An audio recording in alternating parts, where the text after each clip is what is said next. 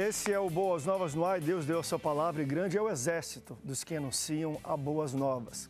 Nós estamos fazendo uma continuação do programa de ontem. Se você não teve a oportunidade, ontem nós conversamos com esses amigos que estão sentados aqui falando sobre como nós usamos e propagamos o evangelho através dos esportes radicais.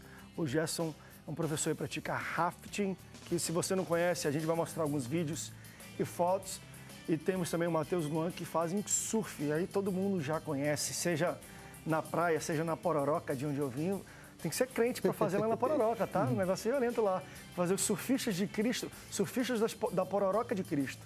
Mas antes, você conhece muito bem nosso programa, eu quero ir com a nossa central de semeadores falar com o Ronaldo. E, Ronaldo, eu quero só que você é, pontue também com os telespectadores. Esse programa passa à noite e ele é muito rápido, de fato, né?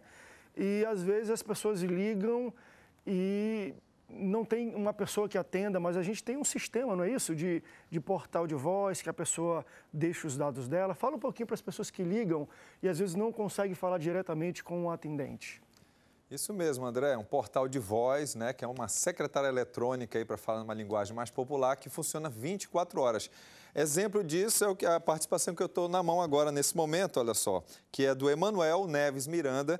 Ele se tornou semeador lá do norte do Brasil, Rio Branco, Acre, e participando com a gente, se tornou semeador com 30 reais. E ele ligou justamente no horário em que não tinha um atendente aqui na central de semeadores, mas ele deixou sua, os seus dados, suas informações ali salvas, né, gravadas no nosso portal de voz. Então, além desse horário de um programa aqui, que é só às 21 horas, 1h30, né, no horário de Brasília, 24 horas o portal de voz funciona nesse telefone que está passando no seu vídeo, DDD 21 21 12 6300. Então, basicamente, você também não pode esquecer, no mínimo, você deixar seu nome e o número de telefone de contato, tá certo? De repente está sem crédito, liga rapidinho aí para a gente de outro estado, mas ó, aqui Maria José, DDD tal, telefone tal, aí a gente retorna a ligação para você, tá bom? Mas se você já puder ter paciência ali e, e já deixar todos os seus dados, endereço, valor da sua contribuição, seu CPF também, você que quer um carnê como esse aqui, ó,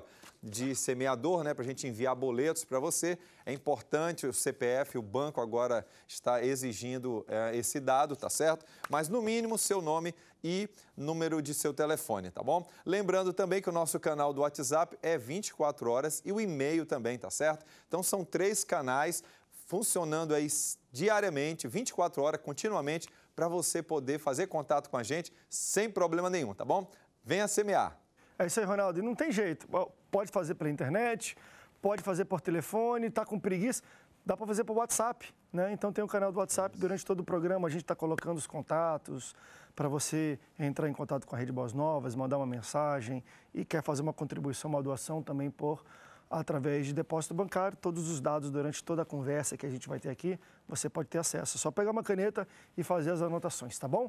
Nós vamos para um rápido intervalo, daqui a pouco a gente volta com mais boas novas no ar.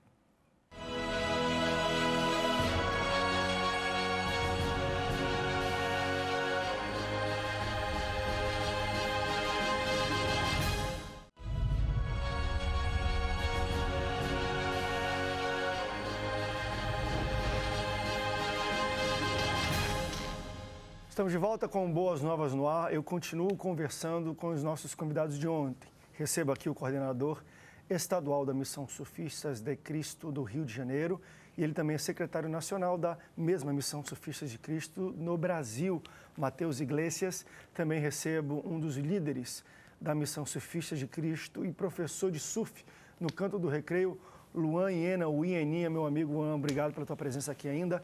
E também recebo o diretor da escola de rafting da empresa Via Nativa. Ele também é membro da Igreja Metodista de Casemiro de Abreu, Gerson Nunes. O Gerson, que, para você que não assistiu ontem pratica rafting, eu quero rapidamente mostrar um vídeo para o pessoal, para você entender um pouco sobre essa modalidade esportiva. Dá uma olhada sobre o que é uma aula de rafting, para a gente ver. Tem como rodar para mim, não, o vídeo? Acho que a produção vai botar daqui a pouco. Enquanto a gente conversa com o Gerson, vocês já podem estar a rodar se estiver preparado. O Gerson me falou no programa de ontem, eu achei sensacional um pouco a estratégia, que é, tá aí agora o vídeo enquanto a gente fala, mas vocês aproximaram o esporte da igreja e estão começando a formar as pessoas da igreja para que elas se tornem instrutores do rafting. Sim. que é hoje um, um guia, né? Uma pessoa que, que atende ao, ao, turismo. A nossa região tem um potencial muito grande. Hum. Tem isso é interessante, né? é, né? Acho que fomenta tudo sim, no turismo. a economia, a, né? A, é, é, é uma região que... Envolver o, o pessoal, o povo da igreja nisso. Sim, eu acho que a minha empresa mudou muito depois dessa parceria, dessa aproximação da igreja, o ambiente, né? tudo, tudo mudou em função dessa parceria. Então, é o que a gente precisa desenvolver agora é essa, essa coisa que eu vou aprender com os meninos aqui, vou tentar levá-los lá para eles conhecerem uh, o raft. E a gente Mas tentar... de surf, deve ser ruim de raft esses dois que eu vou te Não, falar. a gente até tentou lá um stand-up um stand na corredeira. Ah, né? Levamos cada estabaco lá, terrível. E eu tinha vontade de, de inserir na escola essas aulas de, de stand-up na corredeira. Não tem muito a ver com, com, com, o trabalho de vocês, mas eu acho que essa coisa, essa didática da, de aplicar o evangelho, essa didática de, de como falar com o jovem, acho que é isso que a gente gostaria que vocês né, dessem a honra de ir na nossa região e ajudar a gente a introduzir isso na escola.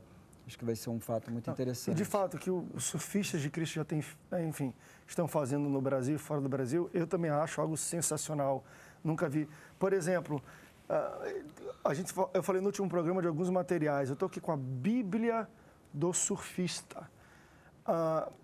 e é interessante, eu já tive uma Bíblia dessa, na verdade até tenho até hoje, mas abre, ela tem vários, ó, aqui na frente, vários conteúdos específicos de, aqui, olha, ó, surf, uma tribo mundial, surf e religião. Então, eles abordam várias temáticas que têm a ver com, com as pessoas que todo dia estão praticando surf. Fora isso, esse aqui também achei sensacional, leitura rápida e fácil, é o Evangelho de João.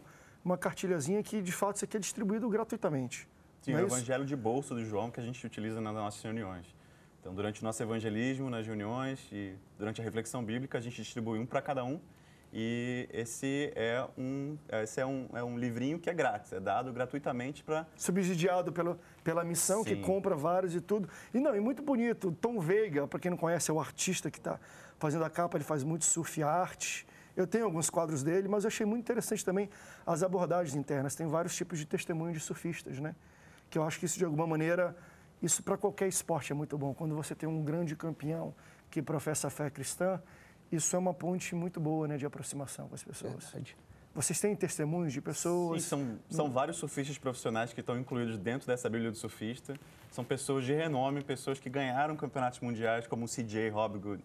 São pessoas que que fizeram. O Hopgood é uma lenda do é surf. É uma lenda, isso. E ele se aposentou há pouco tempo, então todo mundo conhece, todo mundo olha para ele e vê como exemplo. Então, ele aqui dentro fala um pouco sobre como ele chegou a. como ele se converteu à fé, como que ele se tornou cristão, e isso todas as pessoas pegam como um exemplo. Olha, aqui, ó, e eu estou vendo uma coisa muito interessante, abrindo um pouco aqui da, da cartilha né, de evangelismo que vocês fazem. Por que necessariamente o Evangelho de João? Ele é propício, os, os temas que eles abordam é, é, é, é, facilita um pouco a conversação? Sim, ele é o mais simples de, de poder entender né, e de mostrar é que eu falo com as pessoas, a mesma coisa. Aceitou Jesus? Exatamente. Pega a Bíblia, abre João. Abre João. Lê João, depois tu vê o resto. É verdade. Pode ir para Gênesis e tudo, mas vai em João primeiro que não tem... Enfim, mas eu achei interessante que aqui no final, olha, tem até, por exemplo, algumas temáticas, ó. O Evangelho de João em nosso dia a dia. Então, ó, Deus nos ama, quem é nosso melhor amigo, quer receber salvação, procura a verdade, tem dúvidas quanto à sua fé. Essas são temáticas simples, sente-se deprimido, tem medo da morte, sente falta de segurança, sente solidão, são coisas que todas as pessoas vivem e vocês parece que tratam de, meio, muito, de maneira muito prática, né? E não somente pessoas de renome no surf como profissionais, mas também shapers, pessoas que fazem pranchas, como um, um shaper havaiano chamado Eric Araucawa. Ele está aqui e ele diz assim, engraçado, uma vez me perguntaram qual a coisa mais importante que você aprendeu através do surf? Minha resposta foi: a coisa mais importante que aprendi com o surf foi que o surf não é a coisa mais importante. O que é mais importante para ele? É Cristo. Então, ele, como uma lenda do, do, do, do shaper no Havaí, no norte do Havaí, que é a pessoa que faz prancha, ele mostrando aqui, dando seu testemunho. Né? E de alguma forma, é, para muitos de vocês que estão nos assistindo, não tem, talvez não moram em, em uma cidade que tenha litorânea, que tenha praia, e eu não sei também como é que as localidades rafting deve ser difícil também você achar um local propício para a prática. Mas quando você começa a praticar, eu digo isso pela prática mesmo, né? Eu tento fazer aulas e, e, e assim que eu tenho um tempo livre eu vou. Se você não descuidar, vicia mesmo. Vira uma religião, um negócio. Você quer todo dia surfar, todo dia estar tá junto. Porque o ambiente é muito. É, é, é Verdade. É, é muito bacana também. A gente, faz, a gente sofre aqui sete da manhã, de vez em quando, antes Sete, de vir para a TV. Quando chega lá, já está lotado de gente. O ambiente do surf é um pouquinho assim, né? Verdade. Hoje em dia, até seis da manhã já tem a galera e já está caindo. Todo mundo caindo. E a gente assim. tem um grupo aqui de uns pastores, um pessoal que surfa, a gente vão cair, não sei o quê. E, e, e quando você está nesse dia a dia praticando, é algo tão prazeroso que, de fato, é, é, são locais, eu acho, que o esporte radical, principalmente esses dois que têm contato com a água, que para mim é diferente de qualquer outra coisa. Você tem contato com a água, é algo. Todo dia é diferente, né? Não é? É maré, é vento, é temperatura. Então é uma situação que não se repete. Né? Eu, eu acredito que o surf seja até com mais evidência. Corredeiro ainda tem assim, fica dois, três dias de um volume, não é aquela coisa tão, tão muda tão rápido como é o surf. Mas assim, o cenário todo dia é diferente. Hoje amanheci o rio completamente vermelho, porque choveu muito na minha região ontem à noite, ainda estava chovendo, né? agora já começa a chegar as chuvas, aí ele começa agora num processo de transformação todo dia ele está em, um, em um tom diferente. Mas já aconteceu de um dia está tão complicado que você é chegou a ter medo e falou assim, é da alegria. Me, me livra. É, esse ah, é? é? o dia da esse alegria. Esse é o dia da alegria, quando tá, o é. negócio tá tão... Porque teve um dia, lembra naquele dia do... Que caiu a, a, a, aqui no Rio de Janeiro aquela obra da... da São Conrado, da ciclovia. Da, ciclovia. Foi mar um dos dias de... Não foi? Um mar gigante, não sei o quê. Eu acho que não tinha conseguido falar com ela no dia, eu fui, fui surfar naquele dia, meu Deus do céu. Eu, foi, acho que uma das únicas vezes que eu falei, Senhor, me salva nesse negócio. Porque a onda pega na tua cabeça, irmão. O cara tem que ser crente mesmo. É bom isso também você ensina, porque o cara não quer aceitar na hora. Quando ele está lá de baixo, que está pegando na cabeça, eu duvido se o cara falar, Senhor, me livra dessa. O cara vira crente rapidinho. Não existe ateu, né? Nessa hora. Não tem, não, não, não. Tu fala isso, não existe. Já passou por uma situação dessa também, não é? Já, também. De, de pegar aqui complicar. Não sei no Brasil, você já surfou também fora, vive me convidando para ir surfar em, em em Chicama, no Peru. No Peru. É, diz que tem boas ondas e tudo. Mas já passou por situações e falou, Senhor, já, já. Até antes de ter contato com Deus, assim, no Até surf? antes de ter contato. Qual era a tua percepção? Que, que é uma coisa interessante. Tu cresceu na praia, né, irmão? Sim, a tua sim, cultura, teu pai, enfim, estão envolvidos com surf, a vida de vocês é o surf, né? Não só ah, na questão ministerial, mas na questão de, de, de, vida, de trabalho também, embora você piloto, tu tem outras coisas que você está colocando aí né, como proposta de vida, mas qual era a tua percepção sobre religião, sobre crente, sobre Deus antes de conhecer o surfista de Cristo?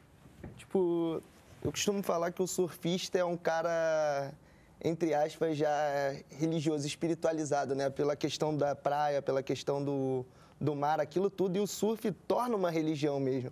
O cara se torna meio independente de Deus, olhando a natureza, não sei o quê. Só que chega uma hora que não tem como. E eu tinha uma percepção assim, o crente é um cara chato, sabe? O crente é um cara diferente. Aí, depois que eu comecei a ir na reunião que eu, que eu havia comentado, né? Aí eu vi a galera do surf, caras que se tornaram referências para mim, assim, cara, uns caras muito loucos que entra na água, assim, vai se tornando diferente, até na questão de rabiar, né, que tem. Não tem isso tem mesmo, né, de respeito do, critério da... Existe todo um código de respeito do surf aquilo. O cara, o cara crente, ele dá até uma radarada menos, então respeita mais a onda dos outros. É importante mencionar que o surf, o surf é um esporte egoísta. É, não é. Diferente, diferente do Rafa que ele falou, Cada um por si então, e Deus por todos. o surf é um esporte egoísta, com o crescimento do surf, mais gente dentro da água. Meu Deus. É como se você tentasse jogar futebol, sei que muita gente não mora num lugar onde tem onda, onde tem praia, mas como se você tentasse jogar futebol com muita gente no campo. De 11 contra 11, 30 contra 30, coloca pra ver, não acontece Quantas nada. pessoas podem tocar na bola? Só uma de cada vez. É a mesma coisa com o surf, é uma pessoa por, pelo lado da onda. Não, e dá briga. Por isso dá que vocês briga. passam o dia inteiro lá, então. Né? Por isso não, que... é, não, não é assim. e dá briga. Eu já vi uns, dá uns, uns ali negócios no canto do mesmo. recreio ali, só, Meu Deus, só assim, Jesus. Não, tu, tu, só vê cabeça de gente. Assim, parece aquela... Vocês já viram uma, uma, umas fotos que tem de um balneário na China em fim de semana, que só vê cabeça, não vê água? É o recreio em dia de sol no fim de semana. A gente vai para um rápido break. Daqui a pouco a gente fala mais um pouco sobre a experiência que eles tiveram com o surf, com o raft e como também o trabalho que eles têm desempenhado como missionários tem rendido muitos testemunhos de conversão para a glória de Deus. Vamos para um rápido break, daqui a pouco a gente volta para o último break. Não sai daí.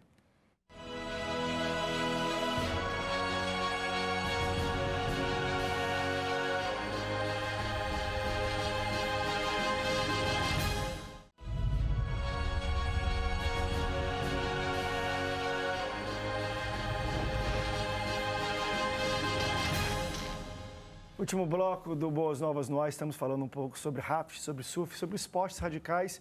E esse pessoal usa, é uma ferramenta, são surfistas, mas é uma ferramenta que eles usam também para aproximar as pessoas de Cristo.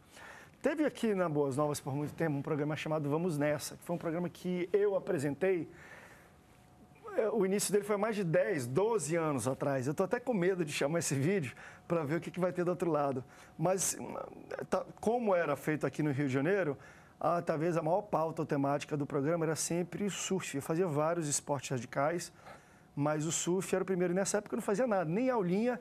E eu tirava, eu comprei uma pranchinha legal, lycra, me achava surfista e tentava surfar. E a gente vai ver um pouco sobre um dia que estava meio complicado para surfar. Veja só. Galera, vamos nessa é o seguinte, a gente veio aqui na praia de Taquatiara, você, acho que vocês lembram, da última vez que a gente veio aqui, enfim, passamos vergonha aqui na praia, estava lotado, mas hoje a gente vai fazer uma coisa completamente diferente. Vocês estão acostumados quando eu vou para a praia e surfo junto com o pessoal, né? Hoje é diferente, porque eu não tenho nem coragem de entrar no mar, porque ele tá monstro. E do meu lado tá o Dudu Pedra. Fala, Dudu, beleza, parceiro? É, Dudu, é como eu tava falando aqui, sempre quando eu vou fazer alguma matéria com a galera, a gente vai bater papo, eu faço o esporte. Se eu, sei lá, o cara for piloto de avião, eu piloto. Surfista, a gente já veio aqui, eu surfei. Hoje não tem condição. Cara, meu pastor falou, ó, tá indo uma galera aí filmar, fazer uma matéria e lá do cara vai cair. se não cair, então não vou nem gravar. Não, o, cara vai, o cara vai cair pra trás quando ele olhar a praia. Ah, é? Mas o que aconteceu? A gente chegou aqui, cara, a gente parou o carro lá em cima e falei assim, ih, tá pequeno. Porque lá de cima tem essa impressão, eu não vi, porque a gente não tinha visto as pessoas e a pedra é enorme, então assim, a proporção, tu vê, não, tá pequeno pra caramba. Daqui a pouco eu vejo um, um pontinho, outro pontinho, três pontinhos, ih, tem gente na praia, daqui a pouco sobe a onda assim, ah. Meu Deus do céu. Senhor, tu és fiel, Senhor, tu és bom. Só a cabeça, garota, magrinho, bom ver essas imagens. Vamos Nessa foi um, era um programa semanal, é, ele ia para o ar todo sábado, mas era um programa sensacional, muito complexo. A gente fazia sempre três externas, e, com esportes diferentes, misturava num programa só, era uma loucura, muito bom. Ele deixou saudades, muitas pessoas até hoje que, que enfim, eu estou fazendo Boas Novas no ar, mas me encontram falando, André, volta com Vamos Nessa, daquele tempo. Foi um programa que, de fato, marcou muito diferente de tudo que era feito antes na televisão cristã. A televisão cristã era só programa de entrevista, Bíblia e pregação. Esse foi um programa de esporte radical de um, de um doido que era eu, que não, nunca fez nada na vida e tentou ser surfista, ser paraquedista e outras coisas mais. Inclusive fiz rafting também. A gente fez rafting bonito, que é um, um local maravilhoso, o nome já fala tudo. Mas foi muito bom a gente lembrar de produções que a Boas Novas fez há muito tempo atrás e, e, e tem história. Muito bom ser semeador e participar da Rede Boas Novas por tudo que ela veio construindo na televisão, na televisão cristã. Eu quero, eu quero que tu fale, pessoal, qual foi a tua primeira experiência com surf e perguntar se eles já fizeram raft. Mas tu estava contando para a gente a tua ah, experiência ah, com surf, né, Gerson? É, eu, eu, tive uma experiência, eu, eu, remei assim, daqui no seu pé, assim, que, eu consegui ficar na, meio, na prancha. Meio né? segundo, né? Eu tava, eu tava falando para eles aqui que eu passei a entender essa paixão pelo surf, que até então eu não conseguia achar nem graça. Comecei a entender a coisa maravilhosa que é ficar numa prancha, né? E na, na corredeira, a gente, eu fui criado na corredeira, a vida inteira trabalhei na corredeira, não tem volta. Se você errar aquela onda ali, aquela, aquela corredeira, já era só depois botar o barco no jipe e voltar, né? Já o surf possibilita isso, você ficar o dia inteiro ali tentando acertar aquela, aquela onda. Tem isso né? então, mesmo, desce tudo, bota um bote. É, o raft, a gente até arrisca lá na, na escolinha, a gente bota o barco nas costas, volta para dropar de novo aquela corredeira, no intuito de, de melhorar né, o desempenho. Já com o cliente, não. Desceu, encalhou, desceu de lado, tombou, embarca todo mundo e vai embora, já era. E o raft não é uma modalidade que a pessoa volte para fazer com frequência naquele rio. Ele faz, pode ser em outro destino, em outro rio, né? Não é uma coisa assim que ele, que ele, vire, que ele fique frequentando aquele rio para aprimorar. Ele faz e, e, não volta mais. No contato, a gente falou muito sobre praia e quem conhece, de fato, tem, tem algo diferente de você estar em contato com o mar e tudo.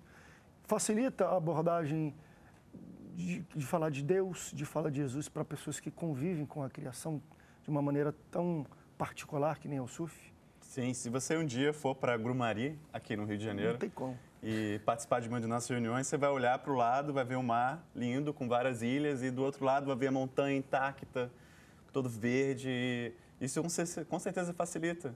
É aquilo, se eu quero perguntar, bem que Deus existe? Olha ao redor, querido. Olha ao redor é aí. Dá uma olhadinha ao redor, não vou nem falar, não.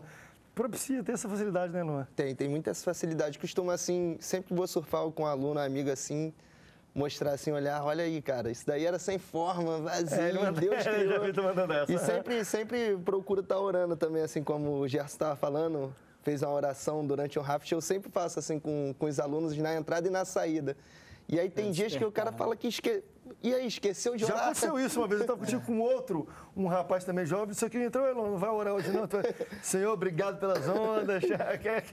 Aquela, oração. É É, aquela oração top de que tem no surf. Não, realmente, se, ó, se uma pessoa está assistindo a gente agora, quer entrar em contato, eu acho que a gente está mostrando os contatos, os e-mails de cada um deles, mas se alguém se interessou, poxa, gostei do Surfista de Cristo, achei legal, tenho interesse até de conhecer não apenas as pessoas, mas o ministério, talvez até trazer para cá, que eu acho que tem um ambiente para isso.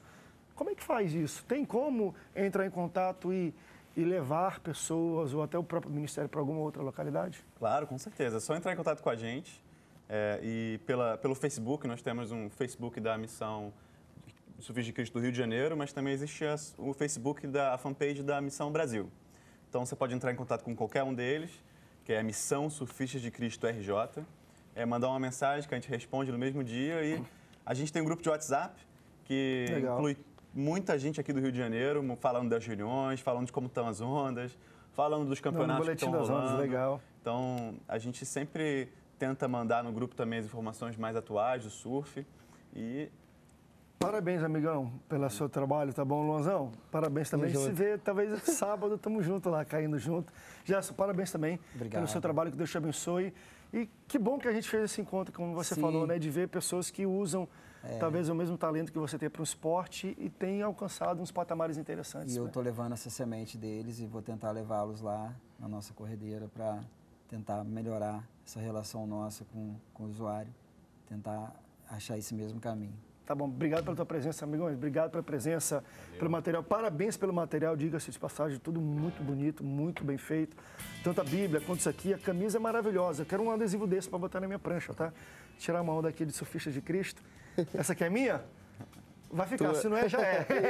Era do Luan, era do Luan. Obrigado pela presença, muito obrigado pela sua audiência. Deus te abençoe e até o próximo Boas Novas no Ar. Tchau, tchau.